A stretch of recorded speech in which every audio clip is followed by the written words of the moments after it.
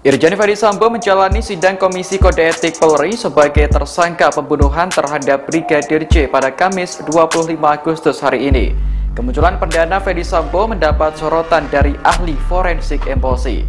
Saat menjalani sidang, Ferdi Sambo disebut menunjukkan sikap tegang dan tampak gugup. Ahli forensik emosi Handoko Gani mengamati gerak-gerik Ferdi Sambo saat menjalani sidang kode etik. Salah satu hal yang bisa dilihat yakni posisi tangan Ferdi Sambo saat duduk di kursi.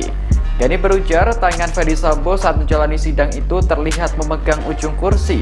Menurutnya, gerak-gerik itu menandakan bahwa Ferdi Sambo sedang tegang. Dikutip dari tribunnews.com, Gani juga menyoroti mengenai pendeknya nafas Ferdi Sambo saat berbicara. Meski tidak mengetahui apa yang dibicarakan, namun ia dapat mengamatinya dari video sidang. Gani melihat Ferdi Sambo tidak begitu santai menghadapi sidang tersebut.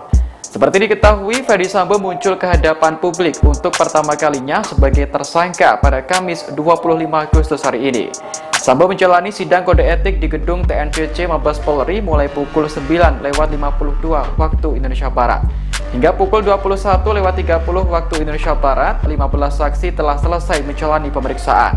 Kini giliran Ferdi Sambo yang diperiksa oleh tim sidang. Sidang etik ini akan menentukan nasib dari status Ferdi Sambo sebagai anggota Polri. Ia sebelumnya diduga menjadi dalang pembunuhan berencana terhadap Brigadir J.